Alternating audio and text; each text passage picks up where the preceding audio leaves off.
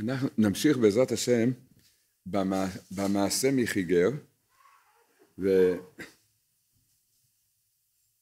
ואנחנו למעשה כבר לקראת סוף הסיפור וקצת אה, נזכיר בקצרה ונמשיך את המעשה שהחיגר מרמז למעשה על כלל נשמות ישראל בכלל ובפרט בדורות שלנו שכל מה שעובר, כל מה שעובר על האדם והחיגר עבר הרבה דברים, הרבה ניסיונות, הרבה קשיים והתמודדויות עד שהוא הגיע לדרך שצדיקים שמקבלים על עצמם איסורים הולכים בדרך הזאת ושם יש אבק, בדרך הזאת יש אבק. וכל מי שדורך על האבק הזה מיד מתרפא. ומכאן ואילך הוא כבר בריא. הכוונה אחרי שהוא התרפא רבנו כותב בליקוטי מוהר"ן שכשאדם זוכה אז בכלליות החיים שלו מתחלקים לשתיים. זה כמובן בצורה, בצורה כללית. בהתחלה לפני שהוא זכה לתיקון שלו. אז האדם עובר כל אחד עובר את הניסיונות את הקשיים את ההתמודדויות שלו.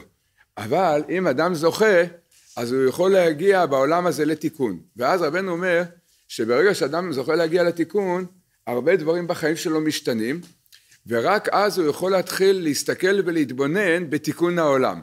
לפני שהאדם זכה להגיע לתיקון שלו, הוא עוד לא יכול להסתכל בתיקון העולם. הכוונה, הוא לא יכול להבין באמת את האמת, מה קורה, מה קורה בעם ישראל, מה קורה באופן כללי. ואף על פי שהרבה פעמים אנחנו כן מדברים אחד עם השני, מחזקים, נותנים עצות, אבל זה עדיין לא הגענו לתיקון שלנו. רק אנחנו אומרים, לכל, מחזקים אחד את השני בדרך של רבנו. זה בסדר, מותר.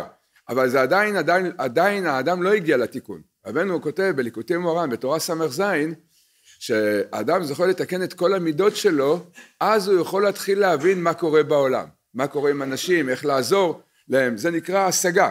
אז הבן החיגר, ברגע שהוא הגיע לדרך, הוא לקח את האבק של הדרך של צדיקים שמקבלים על עצמם איסורים, אז הוא הגיע מיד לתיקון שלו. מה, מה הרמז שבזה?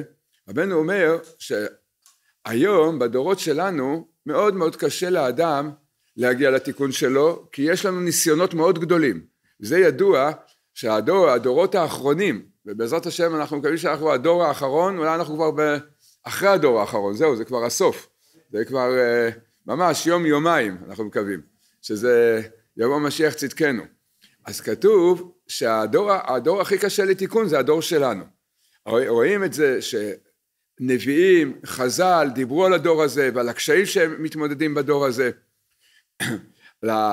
לכן הרבה הרבה מאוד צדיקים גדולים ביניהם הרמח"ל, על ששבו בהחלמה, רבנו ארי והבעל שם טוב ועוד רשימה של צדיקים כותבים שבדור הזה האדם לא יוכל לחזור בתשובה בכוח עצמו.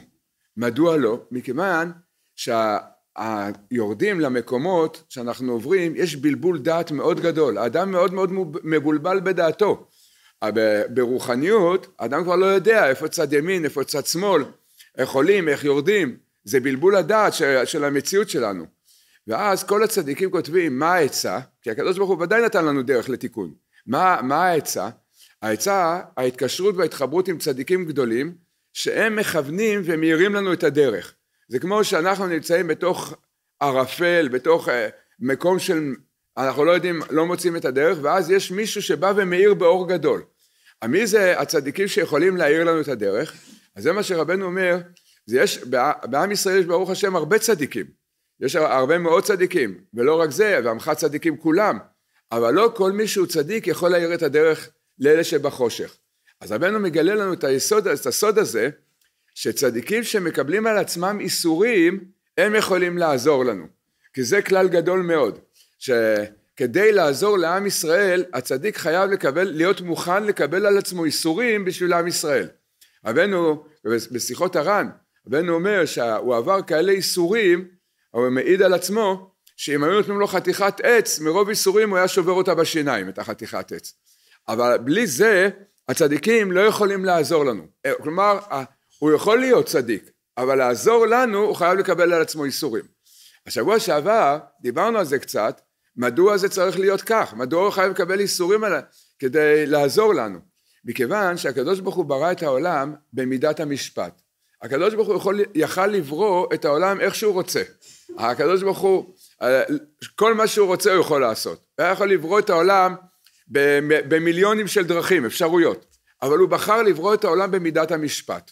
מידת המשפט הכוונה, יש טוב, יש רע, יש מצוות, יש עבירות, והקדוש ברוך הוא דן ושופט את העולם, ככה יהיה עד הגאולה. זה ידוע הרבה בספרים הקדושים. ולמה הוא ברא את העולם במידת המשפט? כי הוא רוצה שיהיה לנו בחירה, הוא רצה שיהיה לנו עבודה והתמודדות בין הטוב ובין הרע, כדי לשלם שכר טוב לעתיד לבוא לכלל, לכל נשמות ישראל.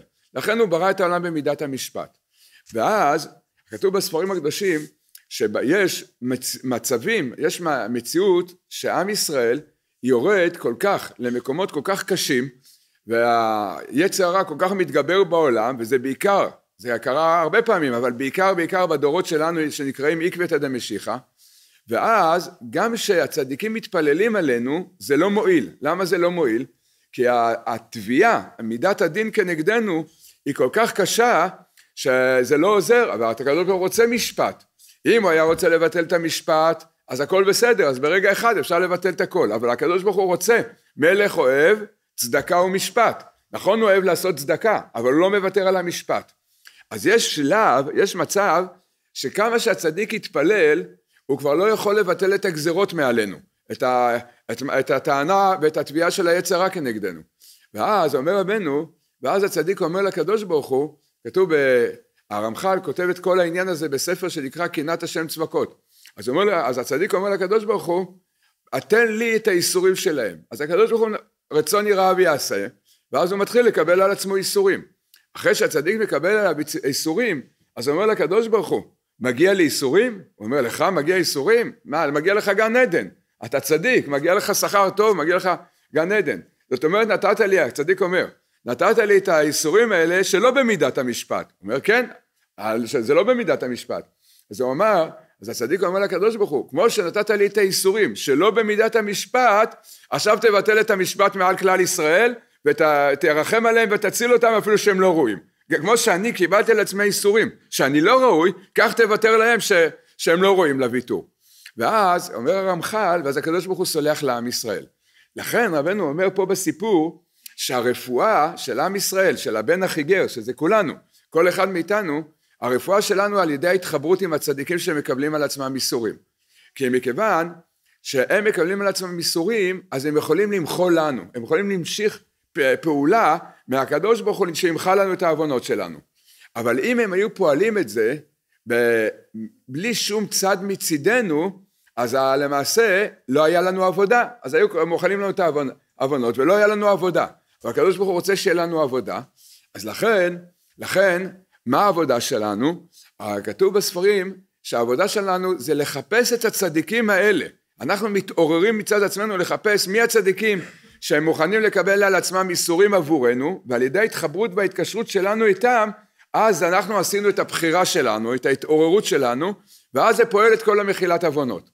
על היסוד הזה רבי נתן שואל שאלה, כתוב בגמרא במסכת סוכה שרבי שמעון בר יוחאי אמר אני יכול לפתור את העולם מן הדין. יכול לפתור, מה זה לפתור את העולם מן הדין? יכול לבטל את כל מידת הדין. צדיקים, הצדיק גוזר, הקדוש ברוך הוא מקיים. אז הוא אמר אני יכול לבטל את כל מידת הדין בעולם. ככה כתוב בגמרא.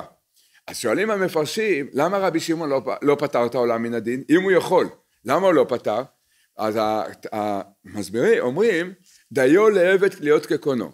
רבי שמעון בר יוחאי אמר, אם הקדוש ברוך הוא לא רוצה לפתור את העולם מן, מן הדין, אף על פי שאני יכול לעשות כנגד רצונו, אני מתבטל אליו. הוא רוצה שיהיה מידת הדין, אני מתבטל אליו.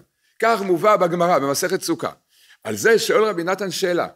אומר, רבי שמעון בר יוחאי יכל לפתור את העולם מן הדין, אבל הוא החליט בסוף שהוא לא פותר את העולם מן הדין. כמו שאנחנו רואים, עדיין יש דין בעולם. שואל רבי נתן, אם כך, בשביל מה הגמרא סיפרה לנו שרבי שמעון בר יוחאי יכול לפתור את העולם מן הדין? בשביל מה לנו לדעת? הגמרא זה לא סיפ... זה ספר סיפורים צדיקים. אה, היה יכול להיות, החז"ל היו יכולים לכתוב סיפורי צדיקים, להגיד היה צדיק רבי שמעון בר יוחאי שהיה יכול לפתור את העולם מן הדין. הגמרא זה ללמד אותנו הלכה למעשה, ללמד אותנו דברים. זה שואל רבי נתן, אם רבי שמעון החליט לא לפתור את העולם מן הדין, בשביל מה כתוב את זה בגמרא? מה זה בא ללמד אותנו? מה זה בא לחדש לנו? אז הוא אומר דבר נפלא. אומר רבי נתן, שהרבי שמעון החליט לא לפתור את העולם מן הדין, כי הקדוש ברוך הוא רוצה שיהיה התעוררות ועבודה מצידנו. לכן הוא לא פותר את העולם מן הדין. אומר, אבל רבי שמעון גילה לנו, אם נבוא, אם אנחנו נוסעים למירון, נוסעים לשכם, ליוסף הצדיק, נוסעים לאומן, לרבנו, לכל הצדיקים האלה, ואנחנו שם חוזרים בתשובה, מתפללים וחוזרים בתשובה, עשינו את ההתעוררות שלנו, ואז הצדיקים האלה פותרים אותנו מן הדין. לכן זה לימוד לא על כלל העולם, כי רבי שמעון לא פתר את כל העולם מן הדין, אבל כל אחד שבא לרבי שמעון, לרבנו, לצדיקים האלה, ליוסף הצדיק, ואנחנו באים אליהם, והם מתעוררים בתשובה. אדם בא, אומר תיקון הכללי, חוזר בתשובה, אז הצדיק פותר אותנו מן הדין. לכן אומר רבנו, שהחיגר, כל הרפואות שלו נמשכו מהצדיקים שמקבלים על עצמם איסורים. לפני הרבה שנים, שמע, שמעתי מהרב ברלנד שליטה שהוא אמר, שהוא שאל שאלה, זה היה אז ל"ג בעומר אולי לפני 15 שנה, הוא שאל למה כל כך הרבה נוסעים לרבי שמעון? אה, נוסעים חצי מיליון איש כל ל"ג בעומר, חצי מהם שם בקושי יודעים אה, מה, מה בדיוק עושים, אבל נוסעים. למה, למה נוסעים? לא, לא תמיד הנסיעה כל כך קלה, באמצע הלילה, קשיים, פקקים בדרך, עוברים טלטולי דרכים. למה נוסעים לרבי שמעון? אז הוא אמר, אז הרב אמר, שאי לא, לא חזי למזלי חזי לה. זה כתוב בה לגמרא. יש דבר שהנשמה של האדם יודעת, אפילו שהוא לא, לא מצד השכל, הוא פשוט יודע. אז הוא אמר שנשמות ישראל מרגישים שכאן יש צדיק שמוכן לקבל על עצמו ייסורים בשביל עם ישראל, שהיה מוכן בחייו. היה רבי שמעון בר יוחאי כל השלוש עשרה שנה במערה, זה היה ייסורים שהוא קיבל על עצמו בשביל עם ישראל. כל מה שכתוב בגמרא, למה הוא ברח למערה, זה רק סיבות חיצוניות, אבל בפנימיות ובאמת, רבי שמעון בר יוחאי קיבל על עצמו ייסורים בשביל כלל עם ישראל. לעזור לעם ישראל לכל הדורות. אז, ה, אז לכן הנשמה מרגישה שפה יש צדיק שאוהב, שאוהב באמת. מדוע? אז הרב, פעם פעם הרב אמר לי בשיחה אישית, הוא אמר לי פעם, שמה זה נקרא לאהוב את עם ישראל? מה זה נקרא לאהוב את העם? אומר, ברוך השם, זה שאדם מתפלל בשביל עם ישראל, זה שאדם אומר, אני אוהב את עם ישראל, זה דבר גדול מאוד, בדורות שלנו זה דבר גדול מאוד. הוא אמר, אבל זה לא עדיין עצם האהבה. עצם האהבה זה שהצדיק או האדם מוכן לקבל על עצמו איסורים בשביל לעזור לשני. אם הוא מוכן לקבל על עצמו איסורים, זה שמה בא לידי ביטוי האהבה האמיתית. אז זה מה שרבנו אומר, שהרפואות נמשכות על ידי הצדיקים שמקבלים על עצמם איסורים, ואז הם יכולים לבטל, להמתיק את כל הדינים מעל עם ישראל, כי זה כלל גדול. וברגע שהצדיק מוכן לקבל על עצמו איסורים ולא מגיע לו, כי הוא צדיק אז לא מגיע לו שיהיה לו איסורים, נהפוך הוא, מגיע לו שיהיה בגן עדן, שיקבל שכר גדול, אז הוא הולך הפך המשפט, אז הקדוש ברוך הוא בשבילו משנה את כל מידת המשפט. לפני הרבה שנים, יותר מ-20 שנה, שמעתי מאחד הצדיקים שבדור, האדמו"ר מפוריסוב, הוא סיפר לי סיפור, היה לו ידיד, לאדמו"ר מפוריסוב היה ידיד, הוא כבר נפטר לפני הרבה שנים, אולי 30 שנה בערך הוא נפטר, קראו לו רבי אברהם אהרונוביץ'. יש ספר, הוציאו ספר על חייו שנקרא אברהם עבד השם, ספר עם כריכה ירוקה. זה כל, הכל שם זה סיפורים אמיתיים. הוא היה ידיד מאוד טוב של האדמו"ר מפוריסוב. סיפר לי האדמו"ר מפוריסוב, אמר לי שבשנים האחרונות של חייו, של רב אברום אהרונוביץ', אז הוא היה, היה לו איזה בעיה, הוא היה חולה, ואשפזו אותו בבית חולים, את רב אברום.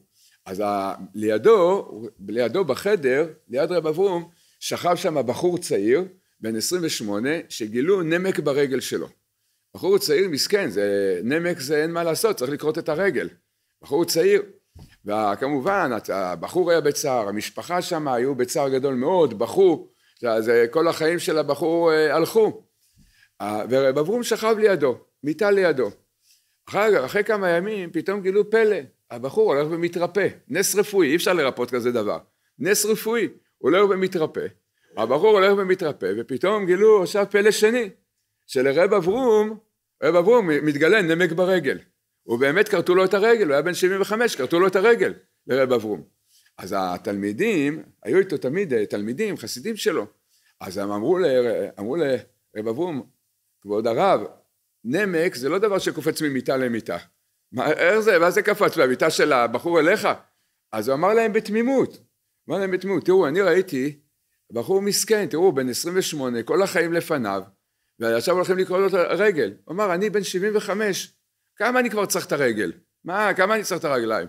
אז, אה, אז אמרתי לקדוש ברוך הוא, ת, תעביר את הנמק אליי, אה, שיתרפא ותעביר לי את הנמק. הקדוש ברוך הוא מקיים רצון יראיו יעשה, וכך היה, באמת כרתו לרב אברום, חמש שנים לפני, בערך, חמש שנים לפני פטירתו, כרתו לו את הרגל, אה, את הרגל מהנמק. אז, אז אמר לי האדמו"ר מפוריסוב, זה נקרא אהבת ישראל אמיתית. לכן, הבחינה הזאת, זה התתיגים, הם יכולים להמתיק מעלינו דינים, ומיד נמשכו רפואות לחיגר. ואז כשנמשכו רפואות לחיגר, אז אומר רבנו, רפואות הכוונה לרפואות הנפש, ועיקר עיקר תיקון רפואות הנפש צריך לדעת, אנחנו הרבה פעמים אנחנו מתפללים, מבקשים שנזכה לתקן את הנפש, רוח נשמה שלנו. מה העיקר? מה זה העיקר בתיקון הנפש? מה היסוד הכי גדול? אמנם יש בזה כמה חלקים, אבל מה העיקר? העיקר הזה צריך לדעת, העיקר זה תיקון המידות. העבודה הכי גדולה שבאנו בעולם הזה זה לתקן את המידות שלנו. כמו שאמרנו, הזכרנו את זה כמה פעמים, הקדוש ברוך הוא נתן לנו מתנות, מתנות טובות. לכל אחד מאיתנו הקדוש ברוך הוא נתן מתנות טובות. מה זה המתנות? כעס, הקפדה, קנאה, תאוות ממון, לא, בדור שלנו אין תאוות ממון, זה היה בדורות הקודמים. הדור שלנו כבר תיקן לגמרי את התאוות ממון, אין כמעט, אולי נשארו עוד איזה עשרה יהודים שצריכים לתקן את התאוות ממון. נתן לנו מידות לתקן, תאוות. אז, ה, אז הצדיקים קראו לזה מתנות טובות. לכאורה, למה זה מתנות טובות? כי זה האפשרות שלנו לעבוד את הקדוש ברוך הוא בעולם הזה. זה, מכיוון שיש לנו מידות לא טובות, אז עכשיו יש לנו את האפשרות לעבוד על זה ולתקן את זה. וזה צריך לדעת, זה, זה גם שמעתי מהאדמו"ר מפוריסוב, שהאדם לא צריך להתבלבל, לא צריך להיבהל ולפחד מזה שיש לו מידות לא טובות ויש לו תאוות העולם הזה. למה לא? כי זה, בשביל זה באנו לעולם. באנו לעולם לתקן את זה. אם, אין, אם בא לעולם בן אדם שהמידות שלו לגמרי מתוקנות, אין לו תאוות של העולם הזה, מה, אז איך קוראים לכזה בן אדם? אז אני אגלה לכם סוד, לא קוראים לו בן אדם, קוראים לו מלאך. מלאכים אין להם בעיות עם המידות. אמר לי איזה יהודי בבית, בבית הכלא בבאר שבע, יום אחד הוא שאל אותי לפני כמה חודשים, היינו שם, אחרי השיעור הוא שאל אותי, תגיד לי, מה ההבדל בין מלאכים לבני אדם? אמרתי לו, אני לא יודע. אז הוא אמר לי, למלאכים אין בעיה עם המידות, הם לגמרי מידות טובות, לנו יש בעיה עם המידות. זה ההבדל בינינו לבין מלאכים. אז לשם כך באנו לעולם, זה, בשביל זה באנו לעולם. אז אומר רבנו בתורה ס"ז חלק שני, שהיסוד הראשון בהתקרבות לצדיק זה תיקון המידות. רבנו מראה לנו, מאיר לנו בתוכנו ונותן לנו גם עצות וכלים. דבר ראשון הוא מאיר לנו מה אנחנו צריכים לתקן, דבר שני הוא מאיר לנו גם, מאיר לנו באלף, נותן לנו עצות איך לתקן את המידות. הרבה פעמים אדם נוסע לאומן, אחרי זה שהוא בא הוא אומר השם מרחם, הוא חוזר, הוא לא שם לב, חודשיים שלושה עברו, בהתחלה הוא קיבל אורות, היה שם טוב, רקדו שם, שמחו שם, היה לו אורות, אמר תיקון הכללי, אחרי חודשיים שלושה הוא חוזר הביתה, פתאום הוא מתחיל לראות, תשמע אני בן אדם, השם מרחם עליי, כעסן, בעל גאווה, בעל תאווה, אז נבהלים, לא מבינים, זה בגלל שהיית באומן אתה מתחיל לראות את זה, אבל מה היה קודם? קודם פשוט לא ראית את זה, לא יד... לפני זה לא ידעת, עכשיו אתה יודע את זה, זה מתנה, זה, זה, זה אור גדול ש... זה, האדם צריך, מגלה בתוכו דברים לא טובים, צריך לעשות סעודת הודיה. פעם אמרתי למישהו, בשיעור, אמרתי לכמה חבר'ה, אמרתי להם, אתם הולכים לשדה, להתבודדות, תיקחו איתכם רוגלח, שיעור כביצה רוגלח. אמרו לי, בשביל מה? אם יגלו לכם משהו שאתם לא בסדר, תעשו סעודת הודיה בסוף ההתבודדות. תודו לקדוש ברוך הוא, ברוך השם, אני יודע, יצאתי מדמיונות. קצת הוציאו אותי מהדמיונות. אז כשאדם יודע את זה, אז לאט לאט רבנו אומר שם, אדם יכול לתקן את המידות, אדם מתפלל, אה, מתחזק ברצונות, נכון זה לא לוקח חודש, גם לא חצי שנה וגם לא שנה, והרב שלום ארוש אמר לי לפני כמה זמן, שרבנו בא ללמד אותנו שאין כזה דבר קורס אדמו"רים מזורז. אדם חוזר בתשובה, נכנס לישיבה, או שמתחיל ככה להתפלל, להתבודד, מאיר לו אור, אומר, טוב, שבעה שמונה חודשים אני חצי אדמו"ר, שנה וחצי אני כבר אדמו"ר. זה לא ככה. זה הלוואי שנה וחצי היינו יוצאים ממידה אחת לא טובה. אנחנו היינו מוכנים, מי שיציעו לו כזאת הצעה שיחתום את זה מיד, שיקבל את זה מיד את הדבר הזה. אבל, אבל אפשר, ועם הזמן, עם התפילות, ההתחזקות של האדם, אדם יוצא, מתחיל לצאת קצת מהמידות הלא טובות, אז מיד רבנו אומר שם בתורה הזאת, תורה ס"ז, חלק שני, אומר רבנו, ואז האדם, ככל שאדם מתקן את מידותיו, ויוצא מהתאוות קצת של העולם הזה, האדם יכול להתחיל להתבונן בעולם, להבין באמת את המציאות של העולם. עד שהאדם לא יצא מהמידות הלא טובות, הוא באמת, אנחנו לא מבינים מה קורה בעולם. יש לנו אין סוף קושיות, אחר הרבה דברים לא, בכלל לא מבינים למה זה קורה, למה אחד עולה ואחד יורד, זה בעל איסורים וזה לא, וזה עשיר וזה עני, אנחנו לא מבינים כלום. אז אומר רבנו, ברגע שאדם יתקן את מידותיו, משמיים ייתנו לו להתחיל לראות, הוא יקבל כזה השגה שהוא יתחיל להבין את העולם. ואז הוא כבר יכול להתחיל לעזור לעולם להגיע לתיקון שלו. זה כבר מדרגה של צדיק. בזכות הצדיקים שקיבלו על עצמם איסורים, אז כל אחד מאיתנו יכול להגיע למקום הזה. וזה החיגר. עכשיו החיגר הגיע למדרגה הזאת ולבחינה הזאת, שהוא יכול להתחיל לעיין ולהתבונן בדרכי העולם. ואז הוא נזכר שהוא פגש לפני שנים את הגזלנים ביער, והגזלנים זה הכוונה הכת של היצר הרע. אנשי היצר הרע זה בכל מיני בחינות, ורבנו קורא לזה גזלנים. אז רבנו אומר, מה הוא עשה? הוא לקח אבק של צדיקים, ומי שדורך על האבק הזה נהיה צדיק. הוא לקח אבק של משוגעים, שמי שדורך עליו נהיה משוגע, וערבב אותם ביחד, עשה אבק אחד. מהאבק של הצדיקים והאבק של המשוגעים עשה אבק אחד, והלך לדרך שהגזלנים עוברים שמה, ופיזר את זה על הדרך, ועלה על העץ וחיכה לראות מה יהיה. ובאמת הגזלנים עברו שמה, הלכו לעשות איזה שוד, אה, הלכו לגנוב איזה בנק, משהו, הלכו שמה, ואז הם דרכו על הדרך, על הדרך שיש שם את האבק של הצדיקים, הצדיקים המשוגעים ביחד. בגלל שהם דרכו על האבק הזה, הם נהיו צדיקים משוגעים. ונהיו צדיקים משוגעים. אז רבנו אומר, מה זה צדיקים משוגעים? חמש דקות הוא צדיק, חמש דקות הוא משוגע. הפעם הלך, פעם גלח. אז רבנו אומר, בשעה שהם היו צדיקים, אז הם עשו תשובה, איך, איך גזלנו, איך גנבנו, איך פגענו בשני, התחילו לעשות תשובה. אבל חמש דקות אחרי זה נהיו משוגעים. אז כשהם היו משוגעים הם האשימו את השני, האשימו אחד את השני. עד שהם התחילו להיכנס למריבות, אז חמש דקות אה, הם האשימו את עצמם. חמש דקות הם האשימו את השני. לא ידעו איך להסתדר עד שהם הרגו אחד את השני. אז רבנו אומר שהחיגר עשה להם כזה דבר. אנחנו יודעים שהרי כל הסיפורים של רבנו זה רמזים, רמזים מאוד עמוקים, מאוד פנימיים, על כל הנהגת העולם. לכאורה פה מתעוררת השאלה, אם החיגר עכשיו עוסק בתיקון העולם, הוא כבר בחינת הצדיק, תלמיד הצדיק, הוא כבר עוסק בתיקון העולם, והוא רוצה להחזיר את העולם בתשובה. אז מדוע הוא לוקח אבק גם של צדיקים וגם של משוגעים, מערבב אותם ביחד? מה יותר טוב שיעשה? ייקח אבק של צדיקים שיחזרו בתשובה כולם. אז רבנו פה מרמז רמז מאוד מאוד עמוק. יש שני דברים שאנחנו יכולים ללמוד מתוך העניין הזה, מתוך הנקודה הזאת. רבנו, שני רמזים, רבנו מרמז לנו פה. דבר ראשון, החיגר למעשה הוא מנהיג, הוא עכשיו הצדיק, או התלמיד של הצדיק, שמנהיג את העולם לפי איך שהקדוש ברוך הוא מנהיג אותו. רבנו מגלה לנו סוד מאוד גדול בדבר הזה, שלפני שיבוא משיח צדקנו, בעזרת השם כולם יחזרו בתשובה, הרב גיא צבי שר, כל העולם יהיו ברסלב, בעזרת השם, ממש בקרוב, כל העולם יהיו ברסלב, אבל רבנו גם אמר, זה יהיה, ודאי זה יתקיים, אבל רבנו גם מגלה לנו איך זה יהיה, איך זה יהיה, יהיה דור שיהיו צדיקים נוראים מאוד, אבל הם משוגעים. חייבים לעבור להיות צדיקים משוגעים. רבנו אומר, אין דרך אחרת. לבוא לתעלה, רבנו אומר, תדעו לכם, חייבים לעבור את הבחינה של צדיקים משוגעים. פה מתעוררת השאלה בעצם, למה? מדוע, מה רבנו מתכוון? למה חייבים להיות את ה... חייבים לעבור את הבחינה הזאת של צדיקים משוגעים? למעשה יש שיחה ידועה מאוד מרבנו, שרבנו אמר את זה בלשון אחרת, כי בכמה, הוא אמר את זה בכמה דרכים את הנקודה הזאת. רבנו אמר פעם, מה זה האדם בדורות האחרונים? פעם הלך, פעם גלח. גלח ביידיש זה כומר. פעם האדם יהיה, פעם האדם יהיה מלאך, פעם הוא יהיה כומר. אה, ואמרתי לפני כמה זמן, אמרתי למישהו שעבר עליו, הוא אומר לי, תשמע, אני, אני מרגיש שאני בגלגל ענק. רגע אחד אני למעלה, אחר כך אני יורד למטה, למעלה למטה. אמרתי לו, רבנו אמר, ככה פעם הלך, פעם גלח. שעה מלאך, שעה כומר.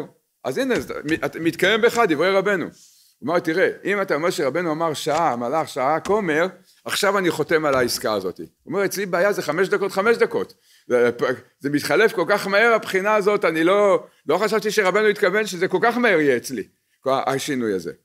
אז רבנו גילה את הנקודה הזאת. אז פה קצת צריך להבין בעומק הדבר מדוע זה כך.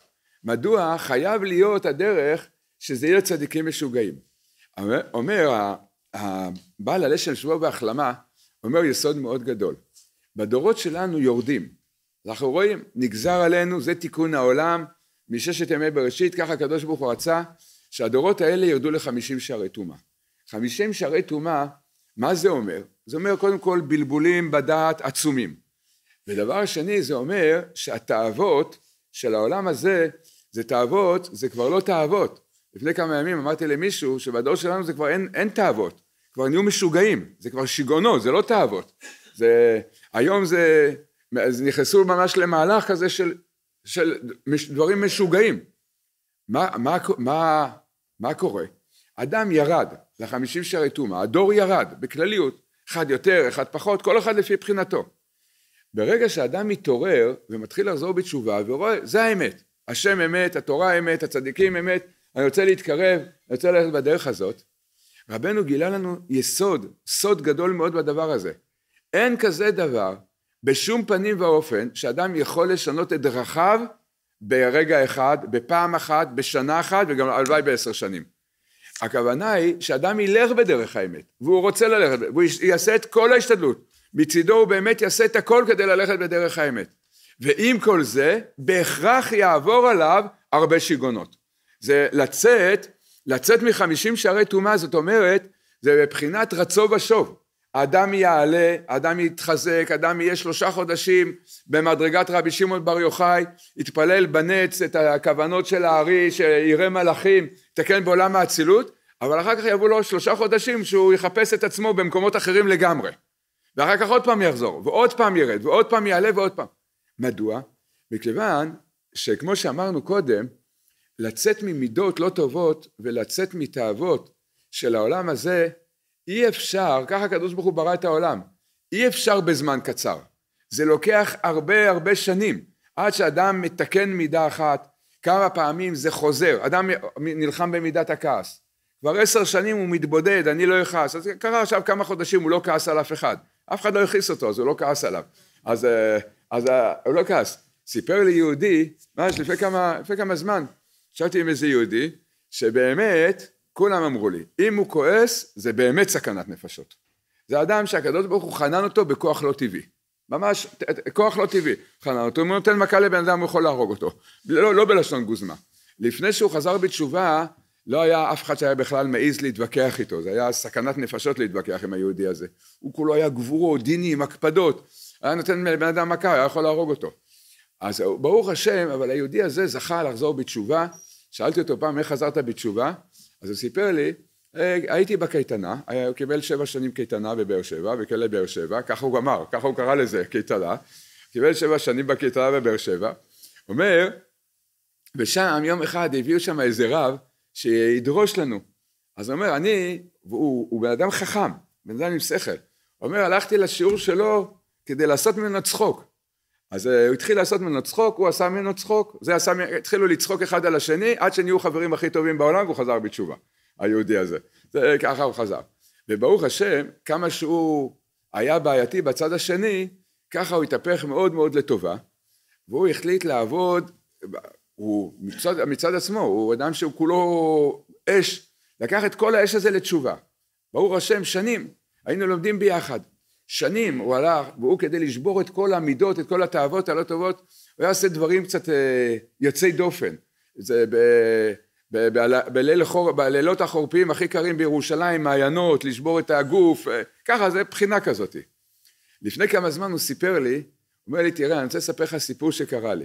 הוא אומר, ברוך השם, אני עובד על מאוד על הכעס, על ההקפדות, זה הרבה שנים, כבר יותר מעשר שנים. הוא אומר, לפני כמה חודשים, הוא אומר, אני נוסע עם הרכב, בכביש, ופתאום מישהו חותך אותי בצורה מאוד מאוד גסה, אמרתי, התרגזתי עליו, הקפדתי עליו, אמרתי, טוב, בסדר, אולי לא שם לב, אולי הוא טרוד. אז זה שחתך אותו, עוצר את הרכב, הוא אומר, מה זה, הוא מתחיל לקלל אותי בכאלה קללות. עכשיו הוא אומר, אני יושב ברכב, כמה הוא מספר לי, הוא אומר, אני יושב ברכב, הוא אומר, זה עד שהתאוששתי, זה היה סכנת נפשות שהוא חתך אותי, עוד הוא יוצא ומקלל אותי כאלה קללות, הוא אומר כאלה קללות, הוא אומר בחיים שלו שמעתי כאלה קללות, זה כנראה מישהו מומחה לקללות, אז uh, בכל הכוונות של, של הקבלה הוא, הוא, הוא קילל אותו. הוא אומר, אני יורד מהרכב, ככה הוא מספר לי, הוא אומר, אני מתחיל ללכת לכיוון שלו, וברור לי מה אני הולך לעשות לו. הוא אומר, ברור לי שאני הולך לעשות לו את התיקון הכללי, זה, הוא, הוא כבר, אה, זה, הוא הולך להיות מתוקן לגמרי. כבר לא יהיה תיקון אחרי התיקון שלי. אומר, אני הולך, אומר, אני הולך במחשבה שאני עכשיו הורג אותו, את הבן אדם הזה. גם עושה עבירה כזאת ומסכן נפשות, או גם עוד יוצא ומקלל, אז זה, זה פסק דין. הוא פסק את דינו, זה נקרא מלך דן יחידי, אז הוא החליט שהוא מלך, דן אותו יחידי, דן אותו למיטה, הוא אומר, אני הולך להרוג אותו. אומר, באמצע הדרך, אומר, באמצע הדרך, אומר, אני, אומר, אין, אף אחד בעולם לא יעצור אותי עכשיו להרוג אותו. אומר, באמצע הדרך, פתאום, אומר, באותו רגע, פתאום הוא נופל לי ככה. אה, כמו, כמו שאומרים, נופל לי האסימון, הוא אומר, מה אני הולך לעשות? אני הולך להרוג יהודי? הוא אומר, כל כך נבהלתי, הסתובבתי בחזרה, רצתי לאוטו, התנעתי את האוטו וברחתי כל עוד רוחי בי. הוא חשב שאני ברחתי ממנו, ברחתי בעצמי, לא ממנו ברחתי. פחדתי מה אני הולך לעשות לו. ברח. אז אחר כך הוא בא וסיפר לי את זה, אז הוא אמר לי, איך יכול להיות? הוא אומר, שנים, אני כל כולי רק בעבודה על הדבר הזה, וברגע אחד, הוא אומר, בשנייה אחת הכל נשכח ממני. אמרתי לו, זה מה שרבנו אומר. אומר כמה, רבנו אומר כמה אדם צריך לעבור כדי לתקן מידה. אמרתי לו, אבל מדי פעם בפעם בשמיים מזכירים לנו, רק מזכירים לנו, עוד לא תיקנת את המידות שלך. לכן אדם יש לו נפילות, יש לו ירידות. כי אם לא היה לנו נפילות ירידות, אתם יודעים, יש בזה סדר. אם אדם למשל, חודש ימים לא כועס ואין לו את הבלבולים של התאווה הידועה. חודש ימים. אני לא יודע אם זה מצוי בדור שלנו, אבל נניח שהיה כזה דבר.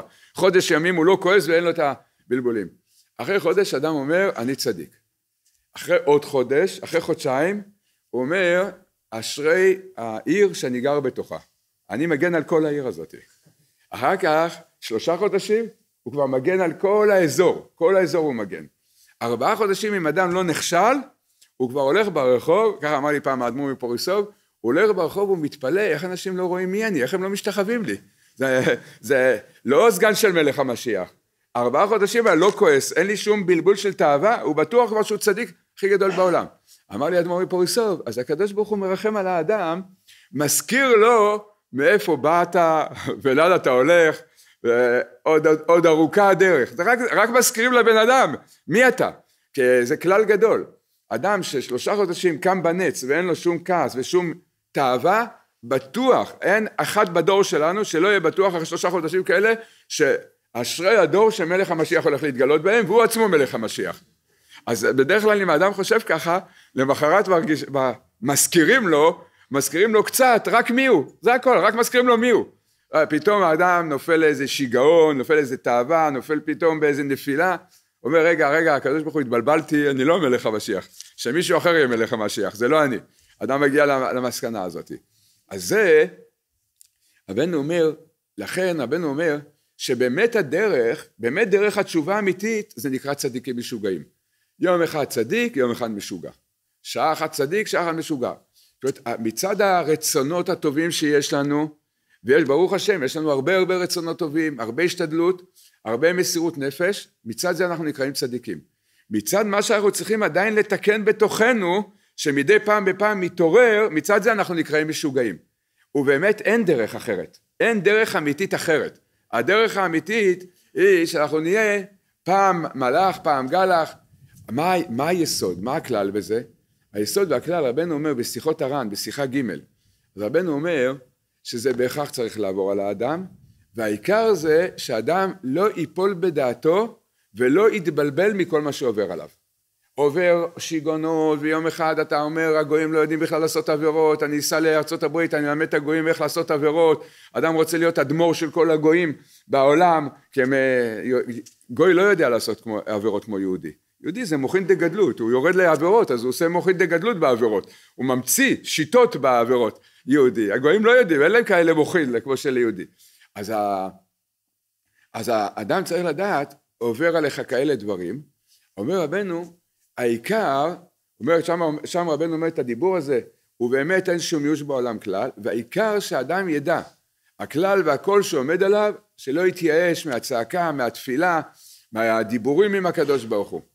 אז אומר רבנו, ועל ידי זה שאדם לא יתייאש, כי זה הנקודה. כל הנקודה שאנחנו צדיקים משוגעים שלא נתייאש מהמציאות הזאת. נמשיך לצעוק לשם, נמשיך לדבר עם השם. שם רבנו אומר, ואז אז יראו לו משמיים איך שכל העבירות וזדונות מתהפכים להיות זכויות. כי מה, מדוע? כי באמת להתגבר על היצר הרע, אדם, אף אדם לא יכול להתגבר על היצר הרע. זה אין, אין אדם בעולם שיכול להתגבר על היצר הרע.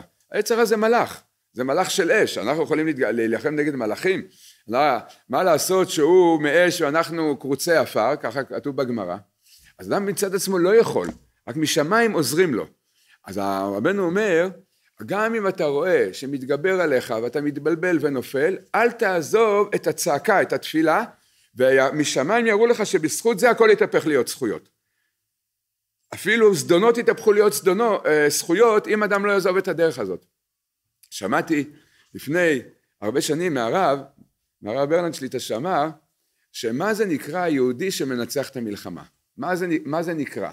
כתוב בזוהר הקדוש שמי שאוחז בכלי מלחמה הוא נקרא המנצח. ככה, ככה אומר הזוהר הקדוש.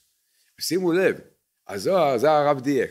הזוהר לא אומר שמי שאוחז בכלי מלחמה וניצח את המלחמה נקרא מנצח. מה כתוב בזוהר? מי שאוחז בכלי מלחמה נקרא מנצח. אז הרב הסביר נקודה נפלאה מאוד, הוא אומר כל עוד האדם מתקשר עם הצדיקים האמיתיים וצועק לשם ורוצה את האמת ולא עוזב את זה אז באמת כל מציאותו זה ניצחון אחד גדול. אפילו אם האדם בדרך נכשל בשמיים לא מחשיבים לו את זה בכלל ככישלון. זה לא באמת נקרא כישלון. מה נקרא כישלון? הרב אמר כישלון זה שאדם הפסיק להילחם. אדם ממשיך את המלחמה עבר עליו מה שעבר עליו הוא ממשיך את המלחמה הוא אמר כלל כל עוד האדם נלחם הוא נקרא מנצח. זה הכל עומד על הנקודה הזאתי לכן רבנו מגלה לנו את זה אתם תהיו צדיקים משוגעים. תתקרבו אליי אני, אני אומר לכם תהיו צדיקים משוגעים. אבל מה? אל תעזבו את המלחמה אל תפחדו. כי אדם רואה שלושה חודשים הוא צדיק, פתאום מתחיל לעבור עליו ניסיונות, הוא אומר נפלתי מהכל, איבדתי את הכל, זהו אין לי תקווה, אני, רואה שהעץ הרע יותר חזק ממני, לא, לא זה לא נכון, זה לא כך, לצעוק אתה יכול, להגיד לקדוש ברוך הוא אני לא רוצה את הרע, אתה יכול?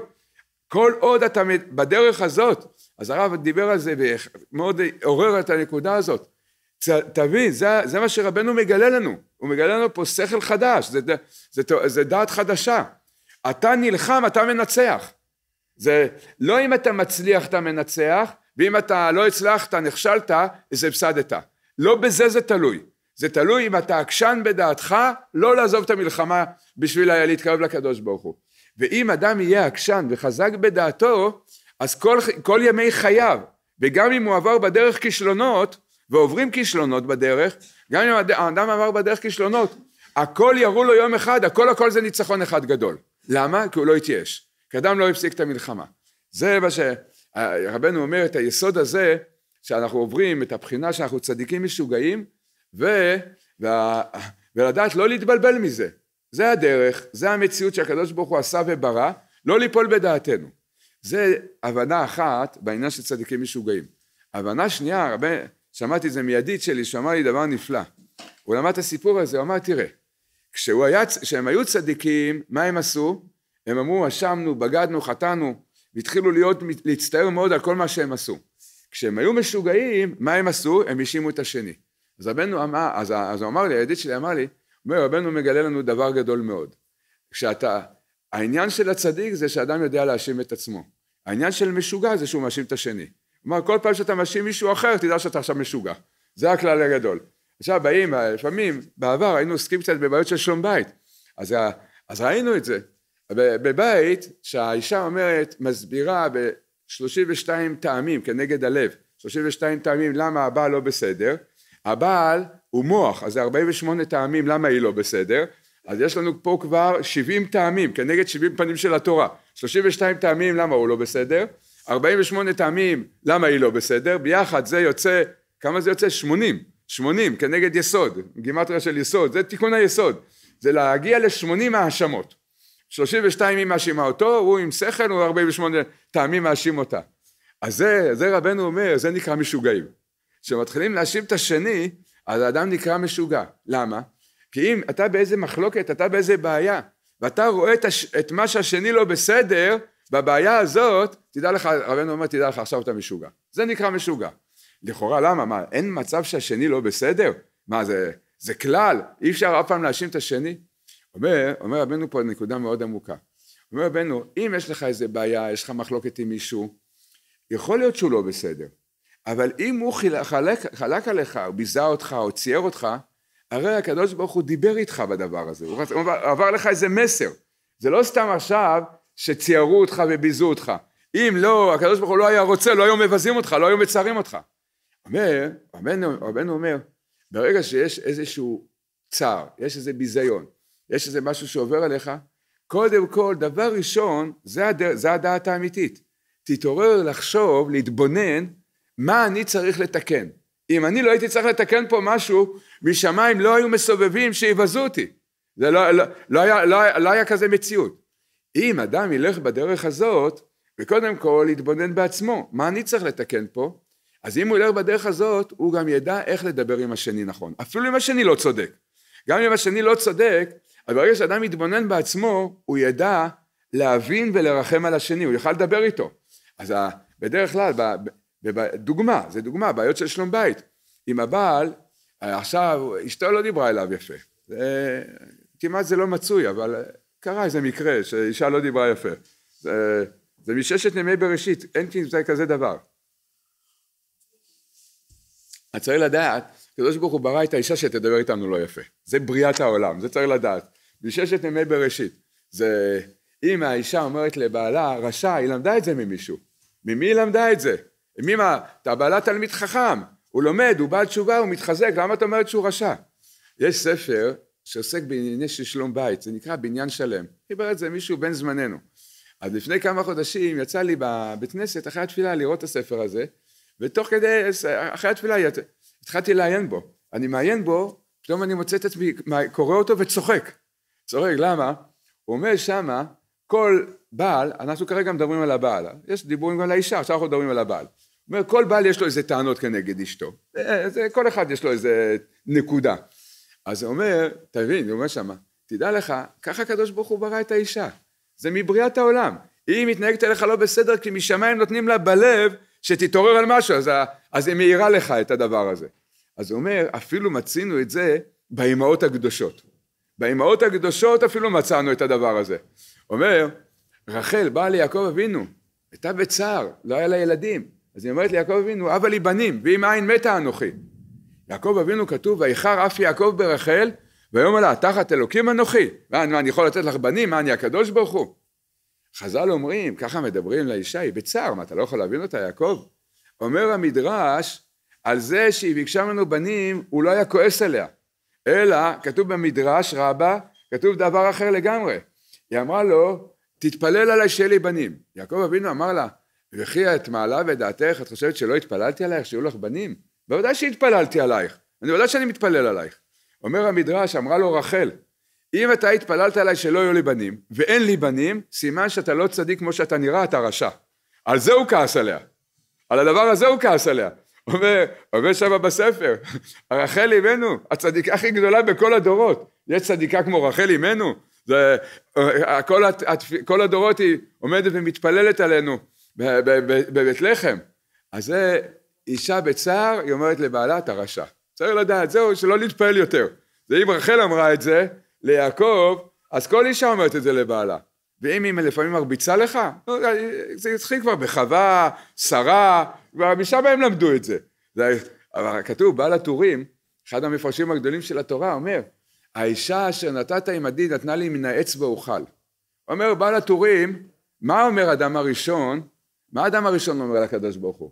האישה שנתת, חווה, היא נתנה לי מן העץ ואני אכלתי.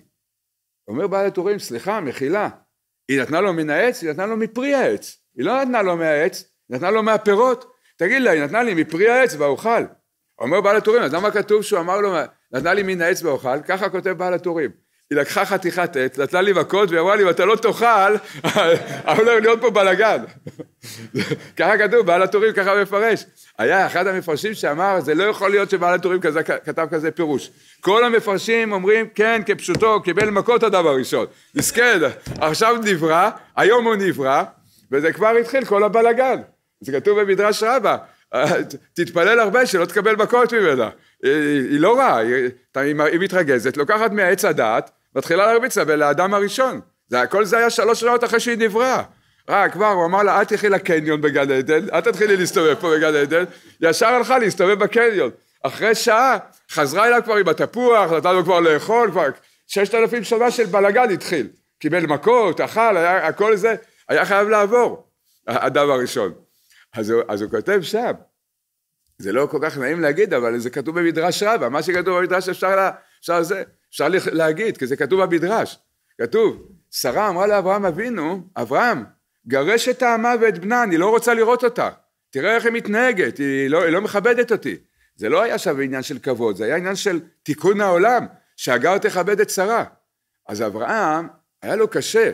אחרי הכל, צריך להבין, ישמעאל היה בנו. היום אנחנו רואים ישמעאל זה פרא אדם ערבי, אבל אברהם זה הבן שלו, היה ישמעאל.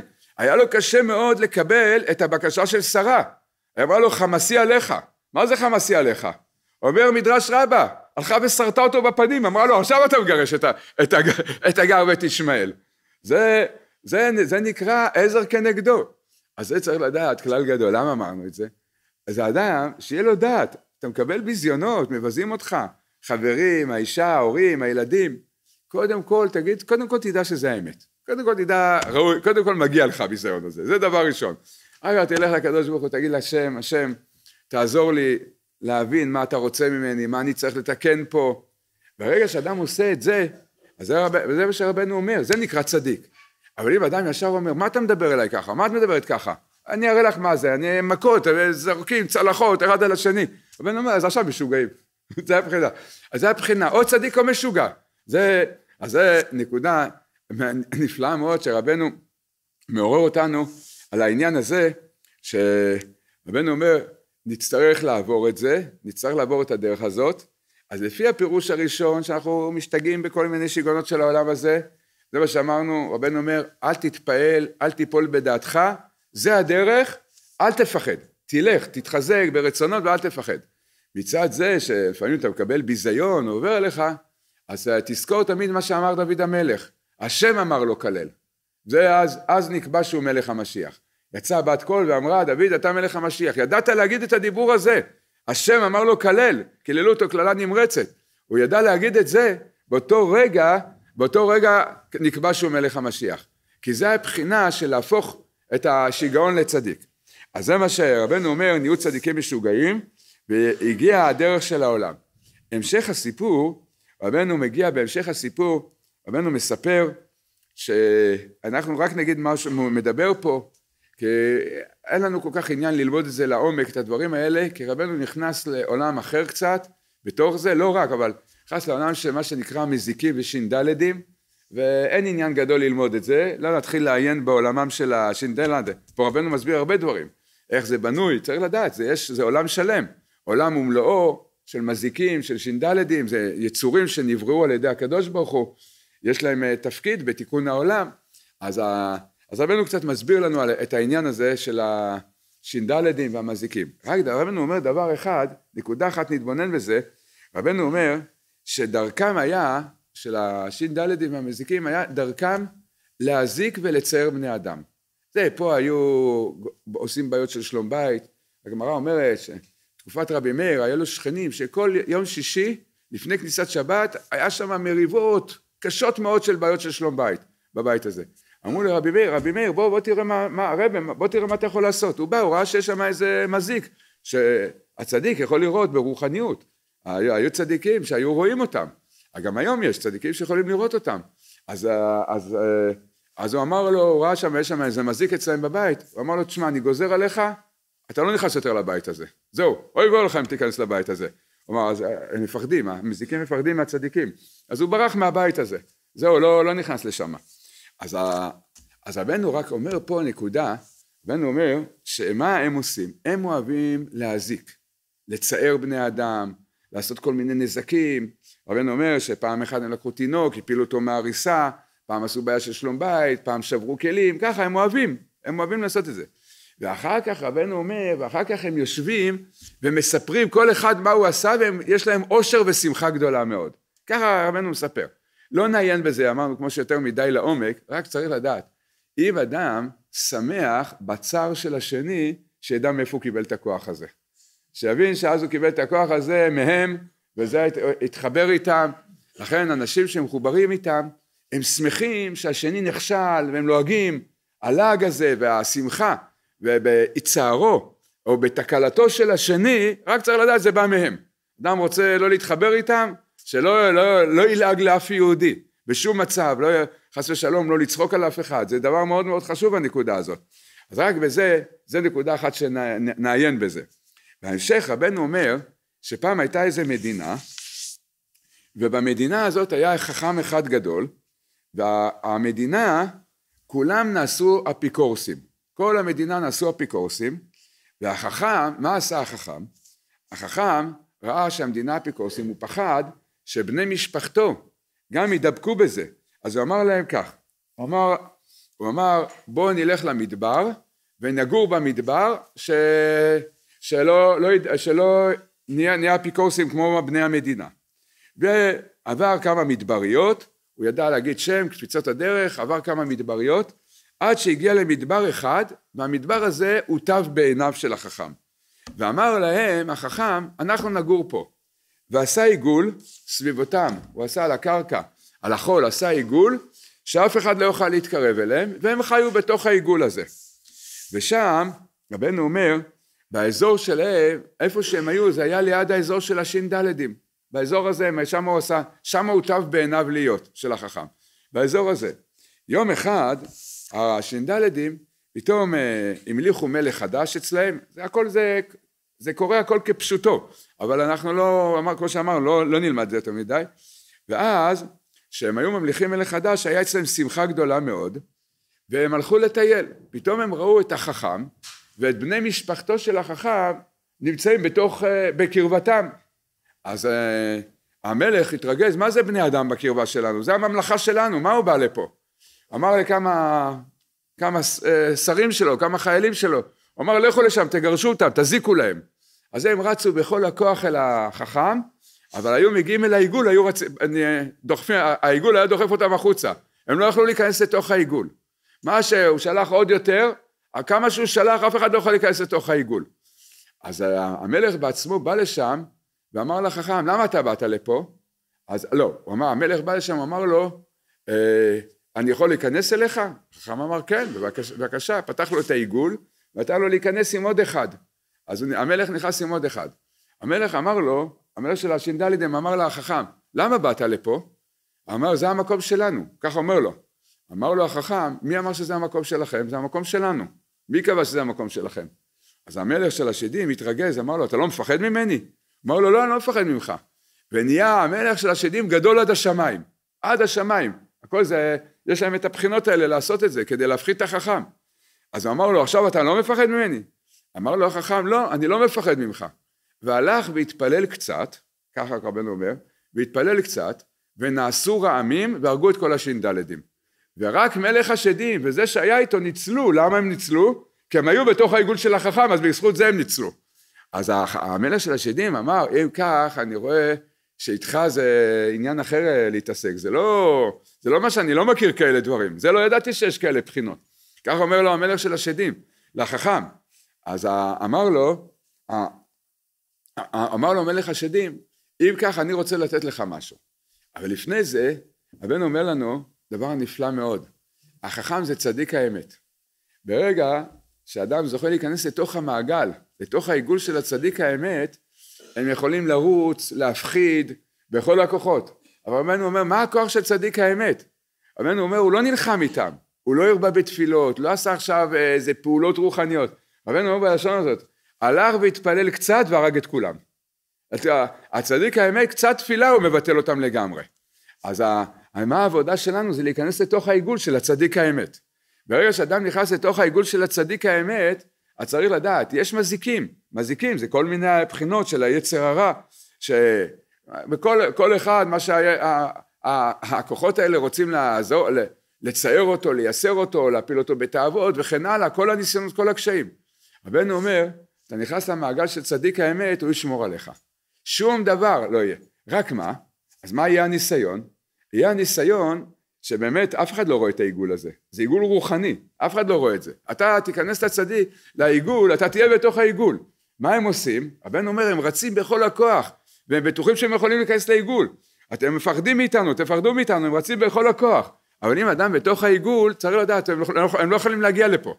הם רק יכולים להפחיד מבחוץ, אבל הם לא יכולים להיכנס לתוך, לתוך העיגול. כמו שעמלק היו מפחידים את עם ישראל במדבר, אבל לא יכולו להיכנס מתחת ענני הכבוד. אז העיגול זה השמירה. זה מה, איך, איך זוכים להיכנס לעיגול של הצדיק? אז אומר רבנו, על ידי ההתקשרות בלב, הנפש, באהבה, בלימוד, בקיום העצות של הצדיק, אז לאט לאט הצדיק מכניס אותנו לתוך העיגול שלה, שלו. אדם נוסע לאומן, אומר תיקון הכללי, נותן פרוטה לצדקה, שיחות חברים של התחזקות, אז, ה, אז הצדיק מכניס אותו לתוך העיגול. והצדיק אומר, אתה פה בעיגול, הם שישתוללו בחוץ, הם יכולים להשתולל, הם לא יכולים להיכנס לפה. פה יש עכשיו מעגל, הם לא יכולים להתקרב לזה, הם לא יכולים להיכנס לזה, למקום הזה בשום פנים ואופן. אחר כך יש עוד עבודה של הצדיק, זה כבר לא עבודה שלנו, זה כבר עבודה של הצדיק, שהצדיק גם אומר, אני גם לא מפחד מכם. תראו שאתם הכי גדולים בעולם, תראו שאתם הכי חזקים בעולם, אנחנו, כל הממון של העולם בידיים שלנו, כל התקשורת, כל הצבאות של העולם, הכל בידיים שלנו. עכשיו בתוך העולם יש בכלל אנשים שהם לא אנשים, הם בכלל ש"דים, הם נשיאים של מדינות, לא יודעים בכלל שהם מהכת הזאתי של המזיקים, לא יודעים את זה, זה סוד. אבל הצדיק האמת לא מפחד מהם, לא מפחד מהם, מהם בכלל, והם עושים את עצמם לקראת הגאולה יותר ויותר ויותר גדולים, כאילו יש להם את הכוח ואת כל ההשפעה, אבל באמת הצדיק אומר, עוד מעט אני קצת אתפלל, נבטל אותם לגמרי. למה עוד מעט? למה לא עכשיו? כי הוא יודע שיש עוד יהודים שצריכים לחזור בתשובה, אז הוא מחכה. הוא מכניס בינתיים עוד יהודים למעגל שלו, כדי שעוד עוד כמה שיוכלו לחזור בתשובה, הוא לא מבטל אותם לגמרי. אבל זה כלל גדול מאוד, צריך לדעת, כל הדרך שלנו, כל העצה שלנו זה להיכנס לתוך המעגל של צדיק האמת. להיכנס למעגל זה כפשוטו התקשרות עם הצדיק, לקיים את העצות, ללמוד את התורה, שיחות חברים, שזו נקודה מאוד מאוד חשובה, שיש לך חברים ביחד מדברים מה, מהעניין של האמונה, של יראת שמיים, עצות, איך מתבודדים, איך מתחזקים בזה, כל זה מכניס את האדם לתוך המעגל של הצדיק. ברגע שאדם בתוך המעגל של הצדיק, רבנו אומר אל תפחד. מה שאתה תראה, אתה תשמע קולות, אתה תראה אותם גדולים, תראה אותם מפחידים, ירוצו. הם רצים אליך, אבל יש קיר. הם מגיעים עד לקיר, זה כמו קיר נעלם, פתאום הם נזרקים החוצה. אז הם, והם לא מתייאשים, כי הם קשורים לרבנו מאיזושהי בחינה, הם מקיימים אין שום ייאוש בעולם כלל, רצים אליך עוד פעם, מפחידים אותך, אין שום, זה מה שרבנו אמר. כל העולם כולו גשר צר מאוד, והעיקר לא להתפחד כלל. כל העולם כולו גשר צר מאוד, גשר צר מאוד, גשר צר מאוד, כל העולם כולו גשר צר מאוד, גשר צר מאוד.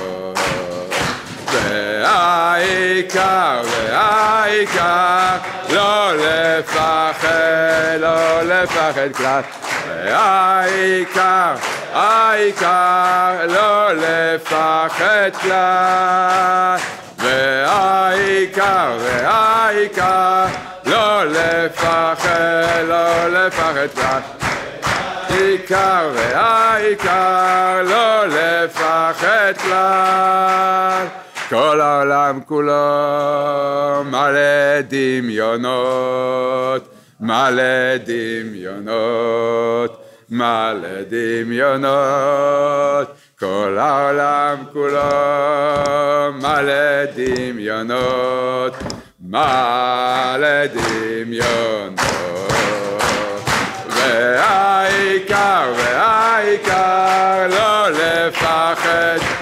לפחד כלל, והעיקר, והעיקר לא לפחד כלל. לא לפחד, לא לפחד כלל ו... לא לפחד כלל, כל העולם כולו מלא ביזיונות, מלא ביזיונות, מלא ביזיונות, כל העולם כולו מלא ביזיונות, מלא ביזיונות. והעיקר, והעיקר, לא לפחד, לא לפחד כלל. העיקר והעיקר, לא לפחד כלל. והעיקר והעיקר, לא לפחד, לא לפחד כלל. עיקר והעיקר, לא לפחד כלל. בחרא בן נון הגיליו, חרא בן נון נסמכה, חרא בן נון הגיל, נסמכה בה, חרא בן נון הגיליו, חרא בן נון נסמכה, חרא בן נון הגילה ונסמכה בה, חרא בן נון הגילה נגילה נגילה רבנו נגילה נגילה נגילה נשמחה בך מי ייתן לי עבר כיונה? אהוב ציון הקדוש ומנה. מי ייתן לי עבר כיונה? היי לה לה לה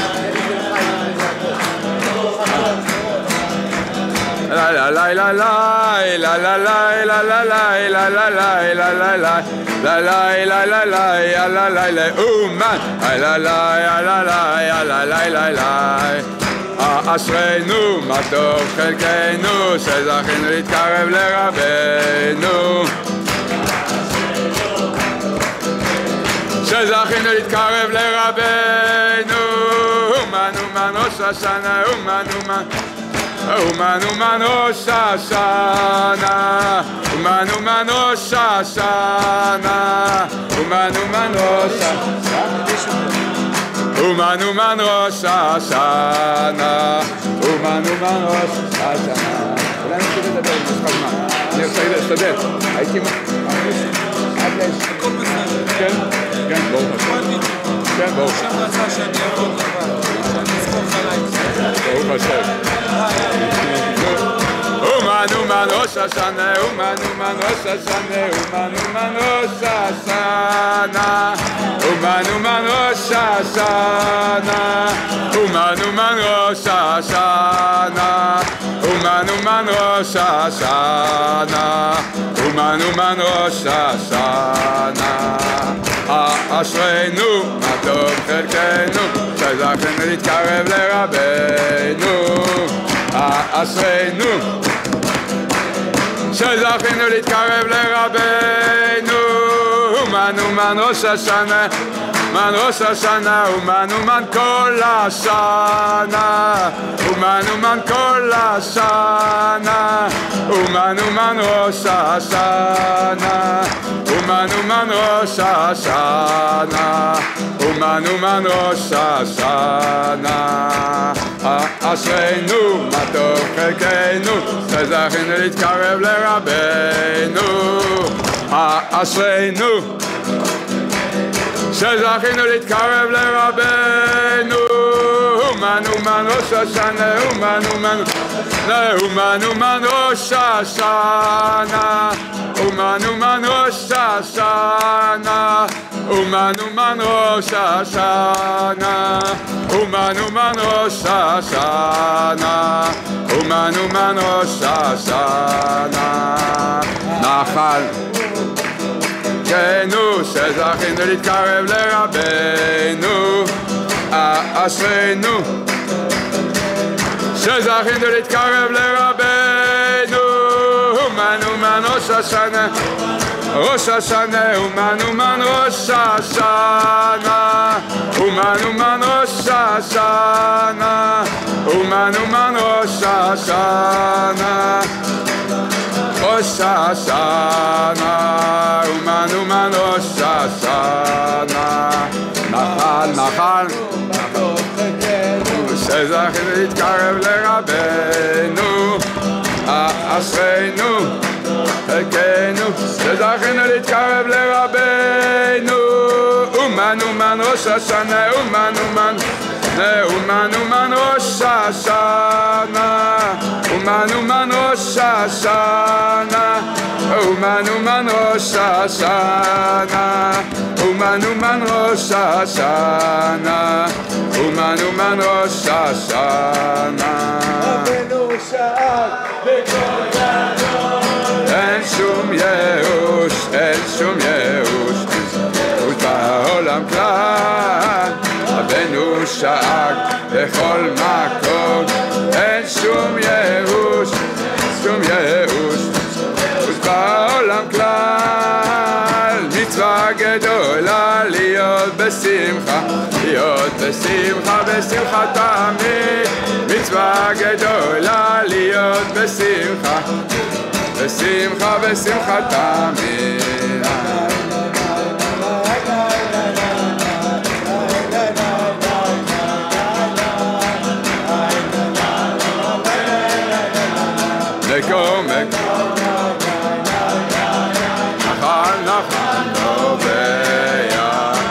מקום מקום חוכמה.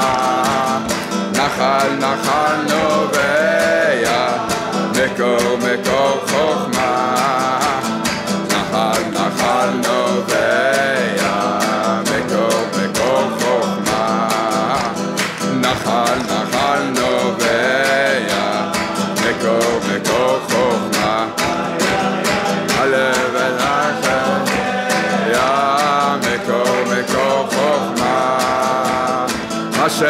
שהיה היה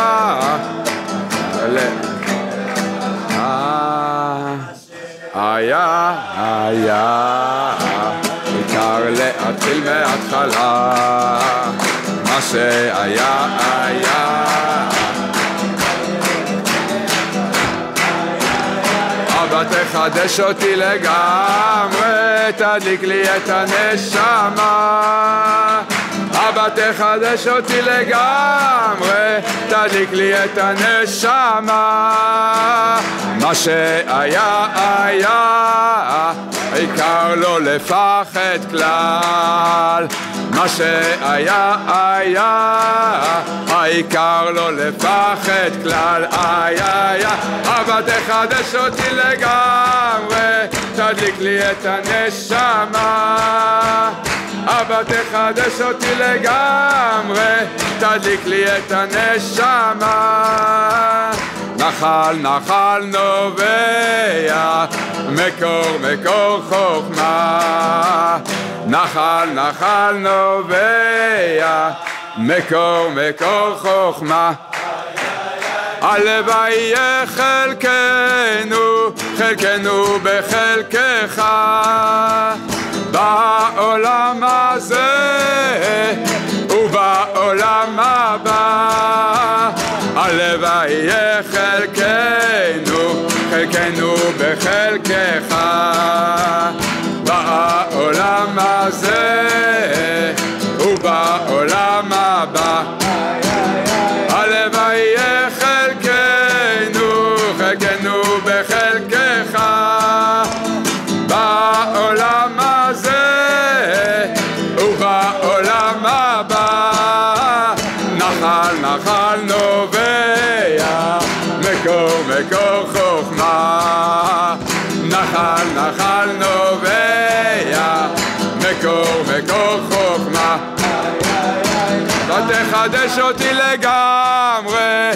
תדליק לי את אבא תחדש אותי לגמרי, תדליק לי את הנשמה. מה שהיה היה, העיקר לא לפחד כלל. מה שהיה היה, העיקר לא לפחד כלל. לגמרי תדליק לי את הנשמה אבא תחדש אותי לגמרי תדליק לי את הנשמה מה שהיה היה העיקר לא לפחד כלל מה שהיה היה, העיקר לא לפחד כלל. אבא תחדש אותי לגמרי, תדליק לי את הנשמה. אבא תחדש אותי לגמרי, תדליק לי את הנשמה.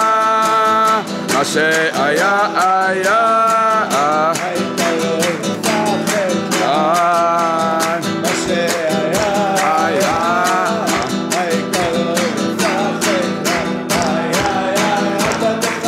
אותי לגמרי, תדליק לי את הנשמה.